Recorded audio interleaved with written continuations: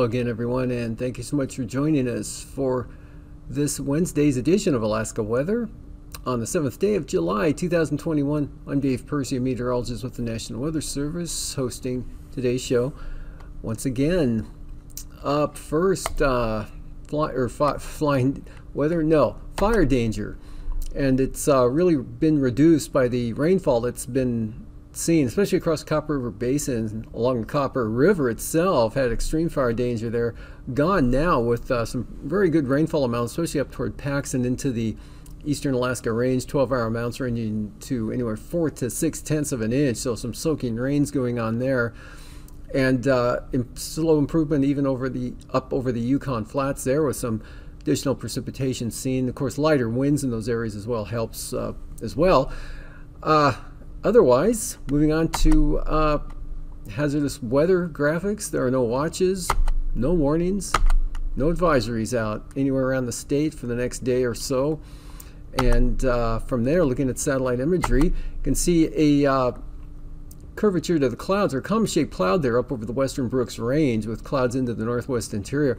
Fairly good, or uh, actually heavy rainfall amounts uh, 24 hour amounts. Ambler picked up 1.16 inches of rain there in the Kobuk Valley.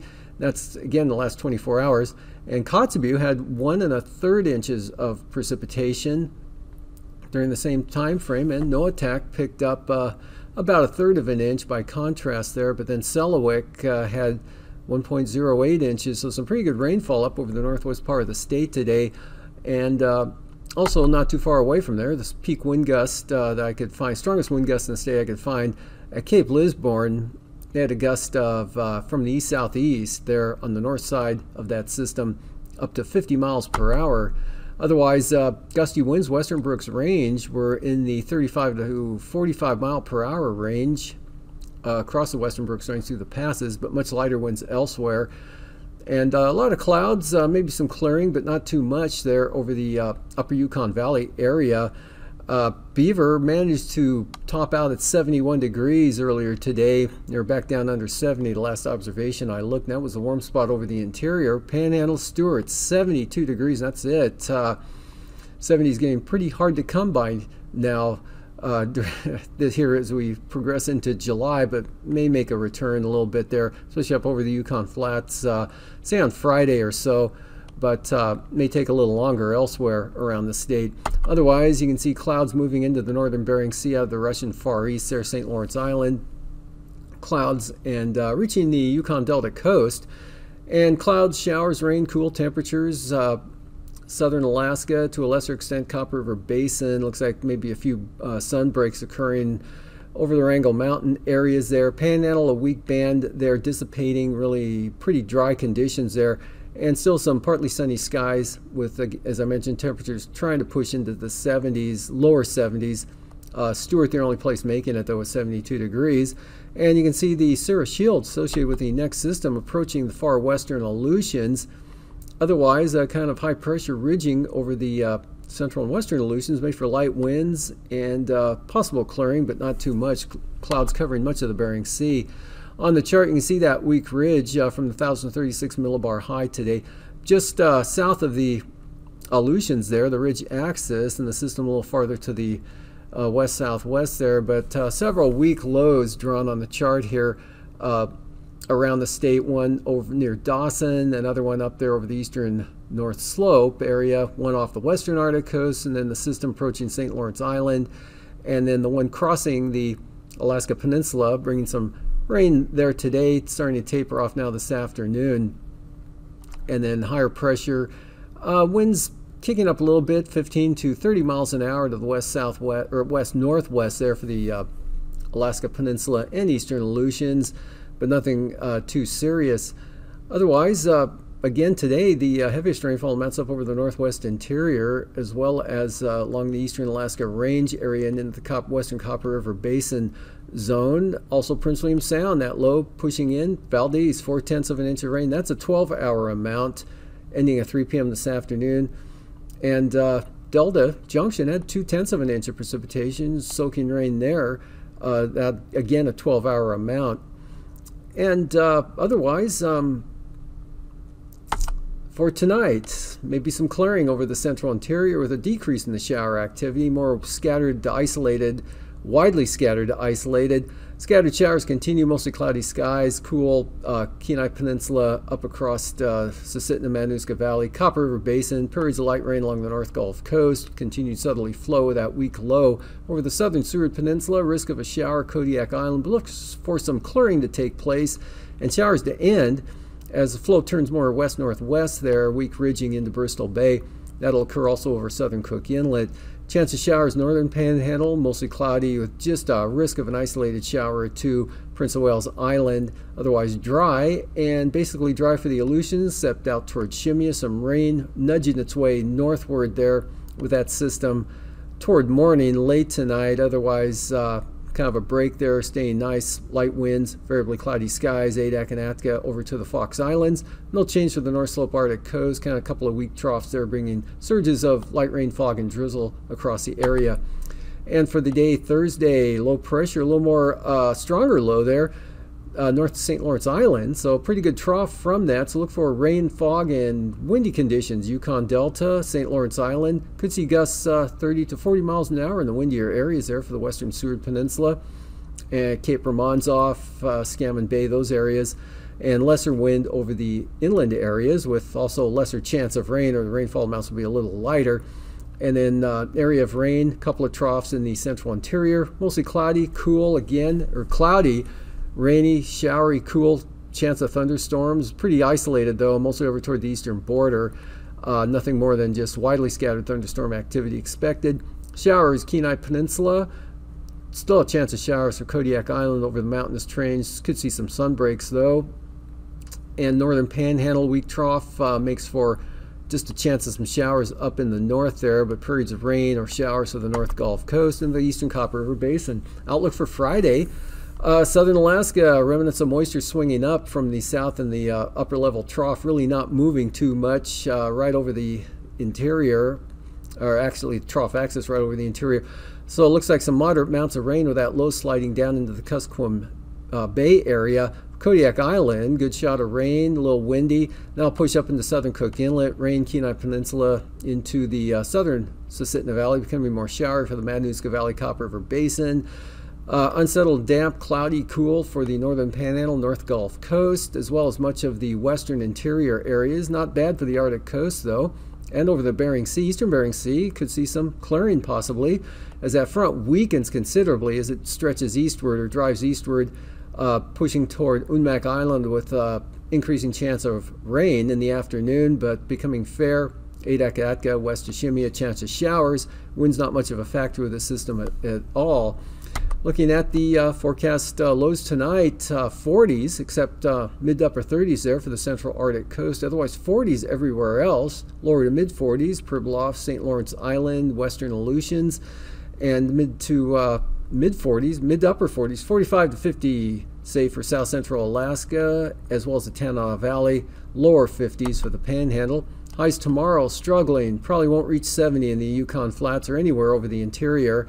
And uh, 50s to mid 60s for the panhandle, so it'll probably be a 70 degree free day for the state of Alaska for the 8th day of July. And then the lows back down into the 40s, set lower to mid lower to mid 30s for the uh, central Arctic coast into the western North Slope, lower 40s for the Brooks Range, 45 to 50 or mid to upper 40s Tanana Valley, 45 to 50 southern Alaska, Kodiak Island, lower to mid 50s for the Panhandle, followed by highs uh, nudge it back above 70 there in the Yukon Flats, maybe 72 or 3, Chalk Beaver, possibly, optimistically, but uh, having trouble reaching 70 for the greater Fairbanks area.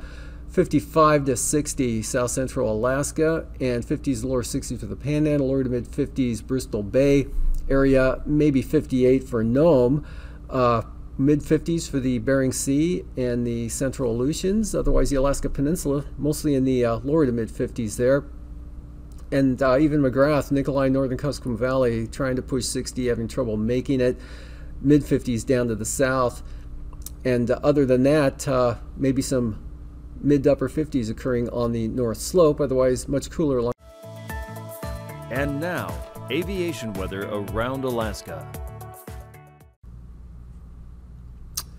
Moving on to flying weather Thursday morning, IFR Arctic coast, uh, northwest coast as well, in toward Kotzebue, Selawik Valley area, Noatak Valley, and into part of the Kobuk Valley, southern slopes of the western Brooks Range, marginal VFR, southern slopes of the central Brooks Range and the north slope, down across the mid Yukon River Valley area, Kuskokwim Valley, southern Alaska, eastern interior VFR, northern Panhandle, Lynn Canal Glacier Bay area, IFR, and then the southern three quarters of the southeast coast, marginal VFR, and some IFR there, southern Kenai Peninsula, Montague Island down to uh, and the east side of Kodiak Island.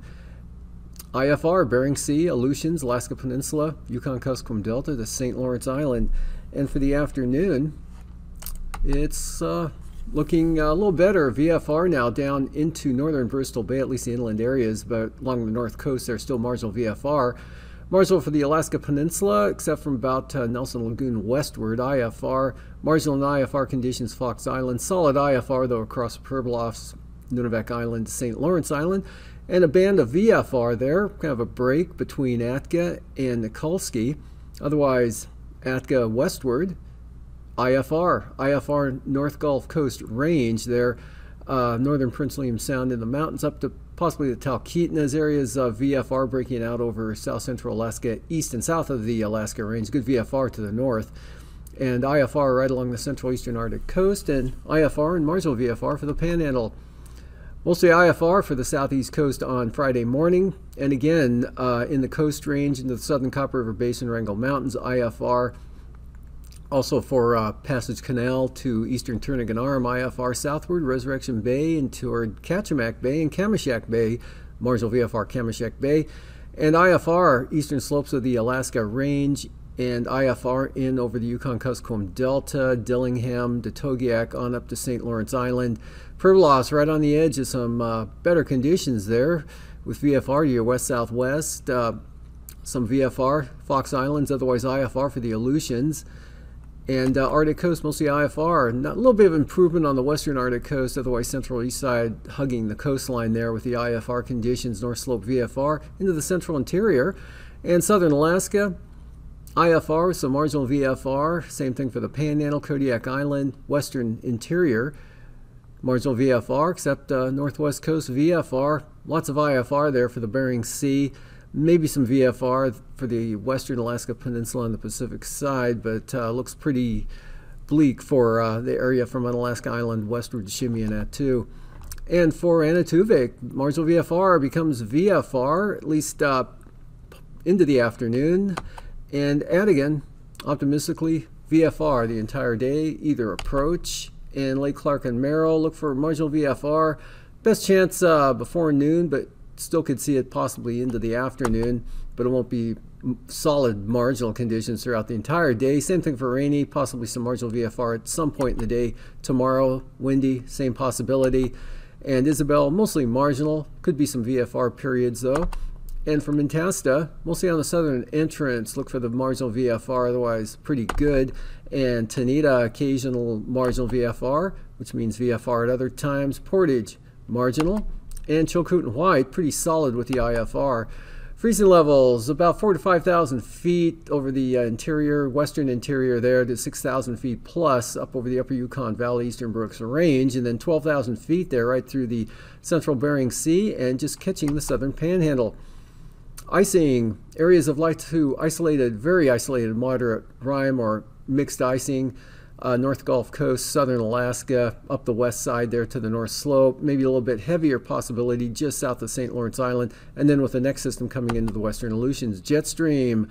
Uh, north to northwest, 105 knots across St. Lawrence Island, and southerlies 95 knots eastern North Gulf Coast, and northwest flow 40 to 55 knots eastern Bering Sea, and southwest flow up to 35 into the Panhandle, and 30 to 40 knot winds from the northwest central Bering Sea, southwest or west southwest 45 knots there. Let me back that up a second. From St. Lawrence Island into the Seward Peninsula, and turbulence with that, there'll be some considerable moderate chop there. Western uh, Seward Peninsula, St. Lawrence Island, light to isolated moderate chop on the increase, Shiimianatu, maybe the Fox Islands. And after the break, I'll be back with a look at the marine forecasts and other information. Welcome to another edition of Alaska Weather Facts. I'm meteorologist Dave Snyder. And joining us once again is our good friend Eric Stevens from GINA, the uh, uh, Geographic Information Network of Alaska. Thanks again for joining us, Eric. We really appreciate it, as always. Happy to be here, Dave. Thanks. And, you know, we're, we're going to ask you some more satellite questions here, but, you know, Okay. since you're a regular guest, we, we're going to give you a riddle this time, kind of a, a trick start to the show. Okay. How do you see a polar bear in a snowstorm? Sounds like a challenging question because Okay. the polar bear is white and the snowstorm's white. Yeah. How do you do that? Well, in the world of satellite meteorology, uh, you couldn't because um, the spatial resolution of this instrument that we're going to talk about today has 375 meters resolution. And even the most well-fed polar bear will not be 375 meters across. I'm okay with that. Yeah, yeah, you wouldn't want to run into such a No, a creature, day. would you? Um, in the satellite meteorology world, the equivalent would be how do you tell the difference between clouds and then an area that has no clouds but's covered by snow, Mm-hmm. Right. a piece of ocean that has no clouds but has sea ice? Ah. All three of these are white. The, Right. the snow, the clouds, the sea ice, it's all white. So, how, using satellite data, can you tell someone where the clouds are and where the clear areas are? This is important for aviators. Uh, mariners want to know uh, in the ocean there, this white stuff, is that sea ice or is that just a cloud? How do we tell the difference? And it turns out, if you look, say, at a picture of Alaska from the springtime, March or April, and it's high noon, so we're getting a lot of sunshine. If you were ride, if you were riding on a satellite with your human eye, look down, everything's white. Right. And we've got uh, you know a picture fro- of Alaska from uh, early April, and Mm-hmm. we're seeing some of the lower elevations in south central Alaska are melting out, getting some brown ground there. But otherwise, there's a whole lot of white Sure. on the image. What areas are cloudy, but what areas are clear and covered by snow or ice? It turns out that if we leave the visible spectrum behind a little bit, Okay. See, a satellite has multiple channels in the electromagnetic spectrum that it can look at. Oh, okay. Part of that's visible light, what we see as humans, but there's a lot going on at other wavelengths. Mm-hmm. If we add in something that's called near infrared, what we couldn't quite see, but we're getting into that infrared territory, Mm-hmm. there's a magical property that we can exploit. Secrets to find. Okay. Oh yeah, this is actually powerful and, and, and almost magical. That at a, at a slightly longer wavelength, when the sun shines down on Alaska and then it bounces off back to the satellite, at that near infrared wavelength, it turns out that snow and ice will absorb that wavelength, but uh, liquid water, like liquid droplets in a cloud, will reflect it back. Okay. And, and that's not the way it works in visible. You know, visible, it just bounces off of all those targets the same. But at near infrared, snow and ice absorbs it, and the liquid will reflect it back. Liquid cloud droplets will do that. Okay. And so an image where everything looks white suddenly becomes colorful. Oh, And the way this recipe works is that the clouds look pink, and the snow covered ground and the ice covered ocean look blue. Suddenly now, we're able to see the polar bear in the snowstorm. We're able to see where the clouds are and where the snow is and where the ice is. This is a powerful advantage. Consider the case uh, zooming into the Bering Strait area. What if you were asked to brief a pilot who wanted to fly, say, from Kotzebue down to Savoonga or Gambell Right. and had to fly VFR, visual flight rules, so they had to stay out of the clouds? Could you use a satellite image where everything is white to provide that pilot any guidance? Be pretty tricky. Very tricky. And that's why we have to go to this other recipe where the, the all white polar bear in the snowstorm becomes more colorful. And now we can tell the pilot, aha, this is a cloud you want to stay out of, but over here, sure, it looks white in the visible spectrum. Right. But what we're doing, we'll show you, oh, this is just snow covered ground, but it's clear. So you can fly right through there, visual flight rules. Same thing for a mariner, a mariner who might want to uh, get down to uh, St. Lawrence Island, say, but it has to avoid the sea ice. This product has applicability there as well. Wonderful. It's, it's an amazing new technology, so many new channels. Uh, the, the satellite that makes this imagery actually has 22 different channels that it looks at. bands. 22 secret decoder rings. 22 secret decoder rings. Okay. Uh, you know, I liken this to uh, you know, activity I had in the car when I was growing up. We go on long car rides, and we do all the work in these activity books to you know stay calm, cool, and collected for our parents who are trying to get us across uh, across the state. But to get the answer, the real answer, you had to apply that red sheet to see the answer or the secret path or whatever the message was in that activity book to get you onto the next next page. And it's also like a, a photography filter, right? If you're, if you're taking a lot of pictures, you can apply different colors to see different parts of that image. I mean, that sounds a lot like what you're talking about. Oh, you know it. We, the information is in there all yeah. along. We just have to combine the channels in a way to reveal what's in there. And by the way, you're dating yourself. So you didn't yeah. have an iPad in the back of the car? No, sir. okay. well, we have Lastly, for dessert, okay. there's a great image of the same kind of recipe. We're looking at South Central Alaska mm -hmm. the first week of January. In Jan first week of January, the sun, even at noon, is really, really low, low, on the horizon, right. barely up. And in this image, the fun thing is the shadow of Denali. We can see the shadow oh, of wow. Denali over a, a, lower pink cloud deck. Yeah, that's amazing. Denali at 20,000 feet casts a big shadow. Mm -hmm. So this is another, just for fun, kind of application here. That's oh yeah, th this is called multispectral satellite imagery, and it's the future. And happily, the future is now. Oh, that is fascinating. And 22 different secrets that can be revealed from just one satellite tool that's mm -hmm. floating overhead. Mm -hmm. Eric, thanks so much for joining us again. We, we can't wait to have you back and telling us more secrets of satellite technology that are passing over us every single day, and many times a day, mm -hmm. over Alaska and helping us all the way in uh, many different parts of our lives. So thanks so much for joining us again. Well, happy to be here. All right.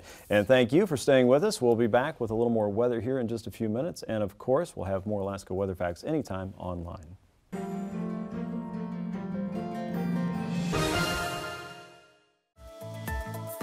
And now, marine weather around Alaska. Looking at the sea ice analysis from the 5th of July, two days ago, uh, you can see what it looks like there, and then I'll compare it to uh, today's, and you can see the subtle changes that took place from yesterday to today. Really not a lot of change bouncing the back and forth there. Kind of shifts north somewhat. Uh, Actually, ice increased in uh, thickness there along the Russian coast, but whatever was left in and around Kotzebue Sound vanished, and uh, minimal changes occurred along the Arctic coast itself, and uh, little change expected over the next few days. Coastal water forecast, panhandle, south winds 10 knots, except Canal where there'll be 15 knots, seas running 2 to 5 feet for Thursday. Friday, Lynn Canal, Glacier Bay, northern inside water, south winds in the afternoon 20 knots with 4 foot seas. Stephens Passage south at 15, Clarence Strait northwest 15. Light winds on the south coast from the west southwest at about 10 knots, 4 to 5 foot seas there, and the north coast south southeast at 15 knots. Prince William Sound southeasterly is 15 tomorrow with uh, 2 foot seas. Cook Inlet southerly breezes at 10 to 15 knots with seas around 3 feet, give or take, and Kamishak Bay Southwest 15 knots, Barren Islands, North Gulf Coast, light winds from the south predominantly at 10 knots and seas only 3 to 4 feet. 3 to 4 feet. We'll pick the winds up on Friday. Prince William Sound southeast to 20 knots with seas 4 feet. North Gulf Coast southerlies 20 knots, seas 3 to 4 feet. Uh, probably be a little higher than that. And uh, Barren Islands, same thing. South or small craft advisories South wind's 25 knots, and I'd go higher than that three feet for the seas there, maybe five, six, seven feet or so. And Kamishak Bay, southeast at 30 knots. Small craft advisory, seas 9 feet. Southern Cook Inlet, south winds 25 knots with 7 foot seas, so small craft advisories there, but lighter winds north of the forelands, looking for south winds of 15 knots. Kodiak Island tomorrow, west southwest breeze 10 to 15 knots, 3 to 4 foot seas. And uh, Bristol Bay, southwest at 15. Alaska Peninsula, west southwest 15 to 20 knots, seas 6 feet. Increase in the wind, small craft advisories, the Alaska Peninsula on Friday for westerlies 25 to 30 knots with seas at 8 feet. Bristol Bay, small craft advisory, southwest 30 knots, 30 foot, or um, southwest 30 knots, 7 foot seas. And Kodiak Island southerlies 30 knots with 6 to 7 foot seas. For the Fox Islands, uh, westerlies 25 knots, seas 7 feet. Adak and Atka, same thing. West winds 25 knots, 6 to 7 foot seas. Amchitka Island, southwest at 15. And Kiska to Shemya, southerlies at 20 knots, seas at about 6 feet. And then for Friday, from Shemya to Amchitka, small craft advisory, southwest 25 knots, seas around 8 feet. Adak and Atka, west southwest 20 to 25 knots. And uh, Unimak and Unalaska Islands, west 15 to 25 knot winds 5 to 8 foot seas. Southwest coast, uh, northern Nunivak Island, small craft advisories, southwest winds 25 knots. Same thing for St. Matthew Island. Pribilofs west at 20 knots. South of Nunivak Island, southwest 15. St. Lawrence Island, small craft advisory, south 25 and seas at 8 feet. On Friday, swing those winds around to the north, picking up. Uh, Norton Sound, northeast 25 knots. Small craft advisories there for the Sound on Friday. And St. Lawrence Island along the Yukon Delta coast, northerlies at 30 knots.